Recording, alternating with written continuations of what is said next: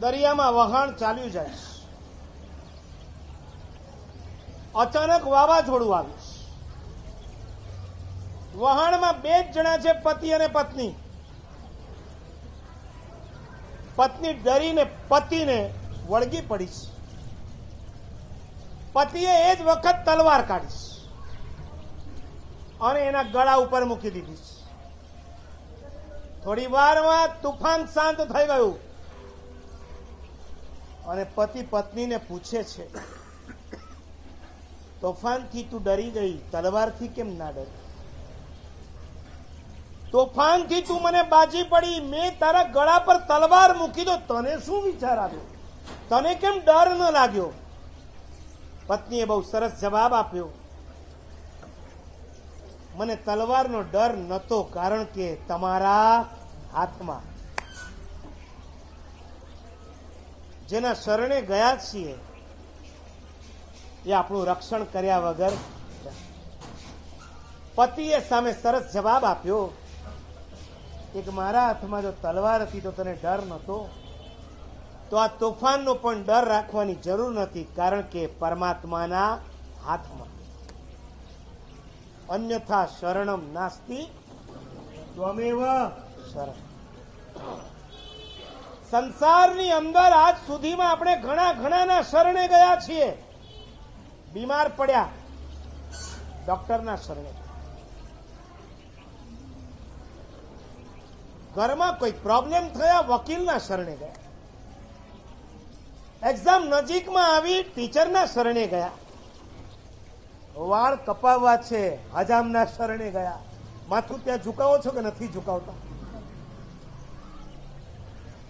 જગતમાં કેટ કેટલાના શરણે ગયા છીએ? ખાલી આ એકના શરણે ચાલ્યા જાઓ. દુનિયામાં ક્યારે કોઈના શરણ લેવાની જરૂર. પંચસૂત્રમાં હરિભદ્ર સુરીશ્વરજી મહારાજ હરિહંત પરમાત્માના કેટલાક વિશેષણો મૂક્યા. જાવત જીવમ ભગવંતો પરમ તિલોગનાહા, અણુત્તર પુણ્ય સંભારા ખીણ રાગ દોષમોહા, અચિંત ચિંતામણી, ભવ જલહી પોવા, એના પછી એક સરસ વિશેષણ છે. એગંત શરણના અરહંતા શરણમ.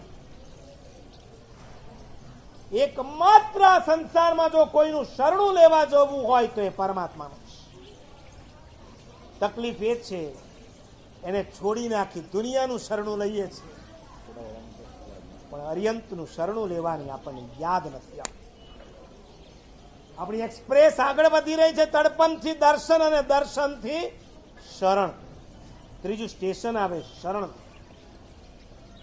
ભગવાનનું શરણું લ્યો. આ સંસારમાં કોઈનું શરણું લેવાની જરૂર નહીં પડે.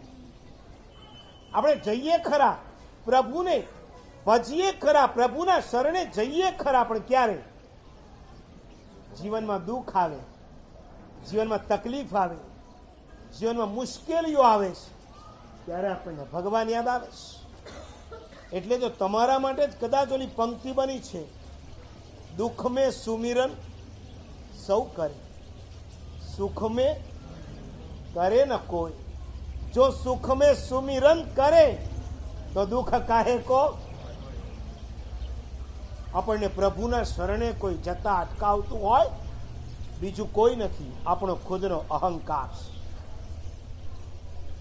સાચું બોલો? કોઈ તપશ્ચર્યા કરે ત્યારે તમે એને પૂછો છો, સાતામાં? ત્યારે જવાબ શું મળે? ઓકે? તમે તપશ્ચર્યા કરી અને તમને કોઈ પૂછે ત્યારે તમે શું જવાબ આપો? આજે સાંજે તમે દુકાનેથી, ઓફિસેથી ઘરે આવ્યા. જતા ઉપાશ્રય આવ્યો. તમે વંદન કરવા આવ્યા. મેં તમને પૂછ્યું, તમારા ચહેરા ઉપર આમ સ્માઇલ છે. એના પરથી ખબર પડે કે આજે સારો નફો થયો છે. એટલે હું તમને પૂછું, કેમ છો? તો શું બોલો? દેવગુરુ બોલો. એટલે એનો મતલબ એ કે ખાલી તપ કર્યો હોય ત્યારે જ દેવગુરુ બોલાય.